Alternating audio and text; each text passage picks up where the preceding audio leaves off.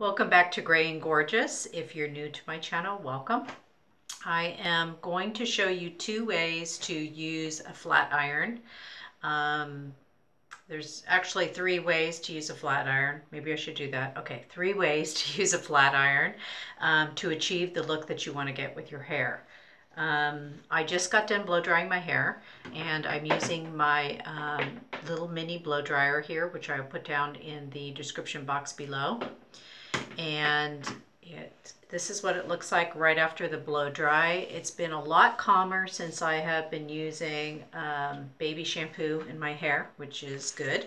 So if you follow me on my channel and you were using the um, Suave Cleaning uh, Clear, what is it? The uh, if you if you were using the daily conditioner uh, no, daily clarifying shampoo and you felt like it left your hair a little too frizzy and you want to only use it maybe once a month or once a week, um, it's it will calm your hair down a little bit if you use like Johnson & Johnson baby shampoo or Honest Beauty shampoo. So it's kind of calmed down. As you can see, it's not quite as frizzy after I blow dry, which is nice. And uh, don't worry though, this is a great product also for cleaning your makeup brushes. Excellent, excellent product. So if you did buy it and you were for some reason unhappy with it or you use or you only like to use it once a month and they come in these honking sizes. Um, it's great for cleaning your makeup brushes, so no loss there. All right, so, all right, so here are a few ways you can straighten your hair. Um, I'm gonna show you.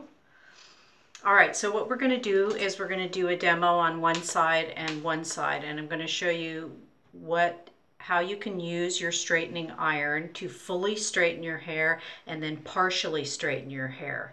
Um, I have wavy hair. As you can see, this is right after blow drying. I have some waves in here. These are all natural. As you get older, you may notice that you have a little bit more wave in your hair. Um, you may notice it if you cut your hair shorter. You may notice it if you grow your hair longer. Um, I don't know why that is. I had heard at some point, and I don't know if this is true, whether it had to do with hormones or whatever.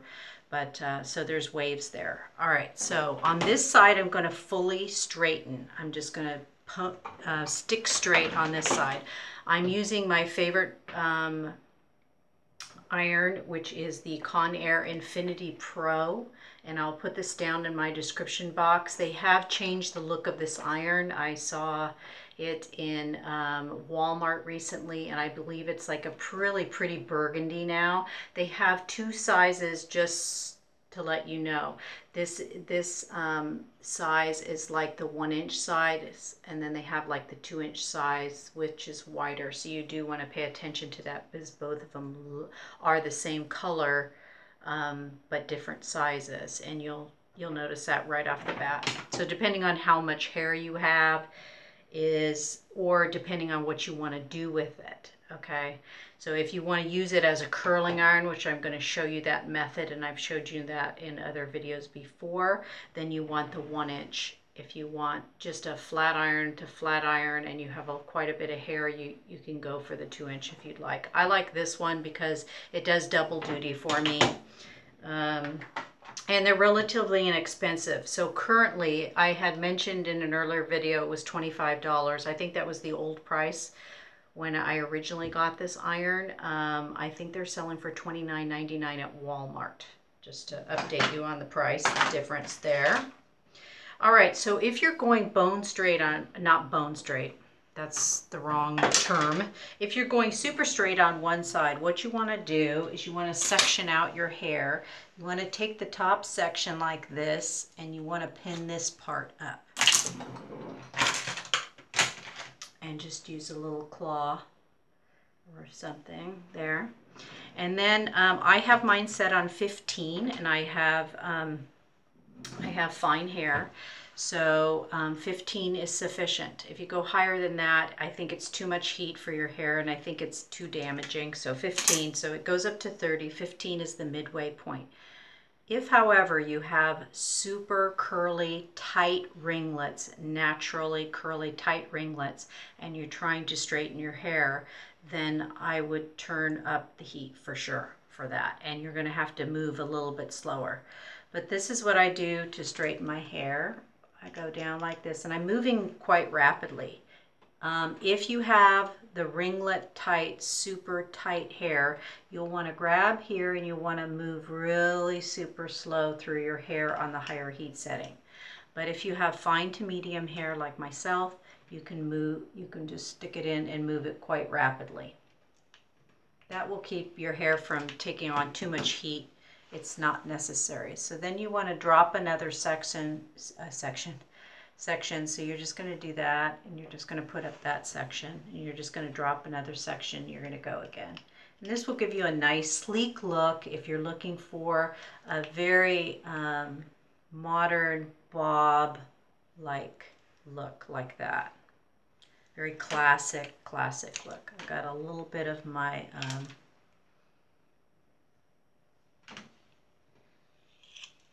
my bangs in there. So I just go through like that. And then you drop another section. I usually try to do it in four sections. The more you section it out, the better it's going to come out. This is kind of the trick the hair hairdressers do, um, is they section out your hair. All right, so and then here's the top. This is the last section. And what you want to do with this section, since it's closer to the root and you don't want frizzy roots, you want to put your iron right up against your root, but go move quickly. Don't keep it there or otherwise it'll, it'll make a dent in your hair. All right, so that's the side. If you want a nice, sleek bob look like that, that's how you do that. Now, on this side, uh, I'll do it a little bit different so that you can see the difference. See how poofy my, my bangs are? But you might like that. You may like that. So we're going to keep a little bit of that going on by just moving it real quick like that. We're just going to, there we go, just like that. All right, so this side, I don't want it so straight. I just want it a little smoother so what I what you do is you do not section it out at all. You just grab an underneath part of your hair like this, let that fall. You'll have to tilt your head and you stick it in and you just smooth it out like this. You just randomly grab sections like this up there at the hairline where you want that smooth and you just pull it through and you'll notice how quickly I'm doing this. That's all we're doing. We're just skimming it I'll call it skimming. We'll have to create names for these type of things that I do. We're just skimming it. We're just going to move around the back. We're just going to skim it. It's almost like we're using the iron as a brush, a heat brush, and just moving it through.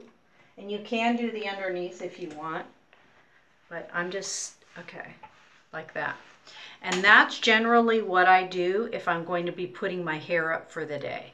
And the reason I do this is because I want these ends in front and on top to be smooth so that when I put my hair up, so that when I pull my hair back to put it up, I'll have smoothness here, I'll have smoothness up here, and less frizz up here. So if you, even if you go with the half up or an all up, that's what I normally do. And it smooth it, smooths it out and um, smooths your bang out a little bit, but it leaves the body in there. If you notice the body on this side versus this side. So that's what I do on the daily.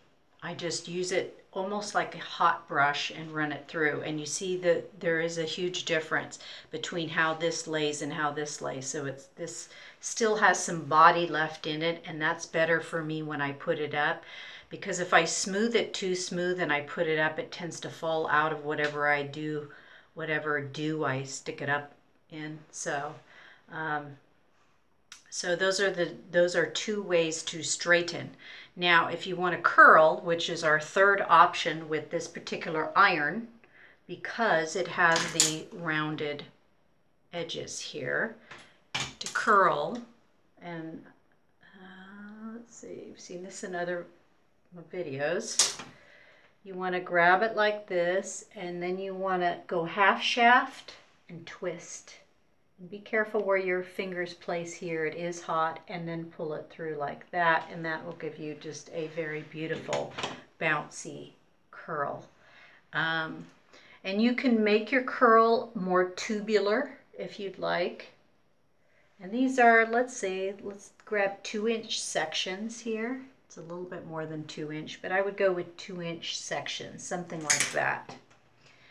And just put it in like this. And if you want to go more tubular, then draw, run it through. See how I'm pulling it through? And I just keep moving. Now I'm pulling straight down like this. If you do that, then you see you get this spiral ringlet if you pull it down. And the difference is, so let me do that again so you can see the difference. Okay, so on this one, I've got a lot more hair here too. Let's reduce that. I go half shaft and I turn and I just smooth it and I bring it through and out. And then on the tubular one, see how nice and tubular that is? So you don't need one of those fancy, you know those styling curler things? where you stick your hair in and it's automatic and it pulls it in and turns it. You don't really need that. This one will do it and this will do it on long hair too. So you'll grab a little two inch section here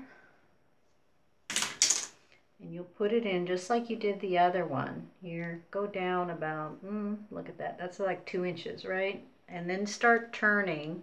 Watch your finger placement on top. These are hot. And then when you're done and the hair is almost through the, then pull it straight down like that. And that will give you the turb, the, the tubal, tubal, the, the tube-like curls. So, all right, so that is three ways you can use this particular flat iron. That's why I love it so much. And um, I'm gonna go get my smaller iron to show you that for you ladies out there who have shorter hair. All right, so for those of you who have shorter hair, I have this cute little mini and I got this at Sally Beauty Supplies. This is the Ion Titanium Platinum and it is mini and I will show you in comparison. I should plug it in for y'all so you can see how this little guy works. Okay, so he's a mini and uh, very much smaller than this one, but very similar in shape and also has the rounded edges here. So you can do the same thing with the Mini as you can with the Conair Pro. Now you'll see other brands out there. You'll see Remington. I prefer the Conair. The reason I prefer the Conair is because it does go up to a higher heat setting. You want something with a range that goes up to 350 to 400. That way you have versatility with it, whether you're using it on very thick hair or you can dial it down for very thin hair, fine hair, um, because you don't want to damage your fine hair. And you can also use a, a heat defying spray if you prefer before um, you start this process. Um, I'll leave that completely up to you. You can ask your hairdresser about that. Sometimes they have very light formula squirt in protectants that you can use for, for heat styling. All right, so this little mini is what I used when I had shorter hair. And if you follow me on my channel, you have seen me with the shorter hair. And, um, and this is also a great, both of these are great travel buddies. Um, they both are dual voltage, so they will go to Europe with you. Um, you'll just have to buy the little plug that, that goes on to the end, the, Euro, the European style plug. And you can find those at Bed Bath & Beyond. Um, a lot of places now, like Walmart, will have those in the travel section where you get luggage tags and suitcases and stuff like that. You want to look for something like that there. And uh, this little guy comes with its own case, which is really great. I wish this Conair Pro had one, but they do they do sell universal cases for your iron. So when you're traveling, it's great to have one of these because let's say you're you just uh, uh, just got into your hotel room and you're gonna um, or you're just leave you're going to be leaving your hotel room and maybe going from your hotel room to the cruise ship or somewhere and you just got done doing your hair and your iron is still super hot and you don't want to pack it hot this has the thermal protectant on the inside. So you can pack it slightly warm. And then it's got the little pocket on the back with the elastic where you stick the, where you roll up the plug. And it actually has a Velcro tie on the on the cord as well. So it's very travel friendly. Love this little guy. I think they still sell it. I hope they do. This also has a heat setting. Let's check this out. All right, so this one also is um, 410 degrees. So it goes from 300 to 410, which is adequate. Um, we're going to use it right now on the 350 setting. It has an on and off switch right here. And I'm not sure if I remember correctly, this one may turn off by itself if you forget to turn it off. I'm not sure on that though. I will have to check on that. It has the nice titanium plates as you can see there, um, much like this one. And uh, and the the plates are the plates. Um, they companies will try to sell us on the idea that there's diamond plating and somehow it's better. I don't think so. I think the plate is the plate um, on it. So here we go. And I forgot the cost of this, so I will have to put this down in the description box below. So this little guy, let's straighten out my bank here. I think he's hot enough. They get hot pretty quick. And again, this one, see that? It works very, very similar to the big one. It's just a mini. So if you have short to medium hair and you just want to straighten out a little bit or just smooth your hairline from here to here so that it's not so frizzy like that, you can do that with the little mini. And let's test the curling ability on the little mini. I never really used the mini for curling because I used it on shorter hair. So, but you can curl your hair with it. So let's see. Again, watch your finger placement up here. These plates are hot. I'm just being really super careful. In fact, I don't even touch that. So, okay, let's, uh, let's try that again. All right, we're to stick it half shaft my placement on this little guy here. All right, so it looks like it puts a wave in it. It's not as, as okay, let's turn it up. Let's see. We're going to go to 410 on this right now, just so if I see if I can get the performance out of this.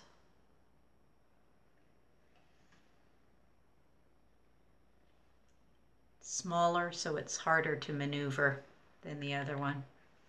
Oh yeah, yeah, you can do curls. Nice beachy wave curls with it. Um, but you may have to turn it up a little bit, obviously. And you're gonna have, you might have a hard time, oh, and see, that's really hot. So see, at the 400, I wouldn't touch this. Do not touch this part at the 400. It's extremely hot.